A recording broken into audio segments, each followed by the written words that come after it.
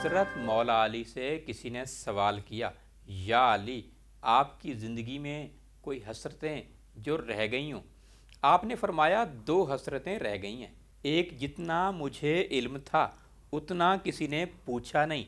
और दूसरा, जितना मैं सखी था, उतना किसी ने मांगा नहीं। हज़रत अली फरमाते हैं, जानवर में ख्वाहिश और फरिश्ते में अकल होती है, मगर इंसान में दोनों होती हैं। अगर वो अकल को दबा ले तो जानवर और ख्वाहिश को दबा ले तो फरिश्ता। हज़रत अली फरमाते हैं, अगर तुम अपने इल्म पर मगरूर हो तो जहालत के लिए यही काफ़ी है।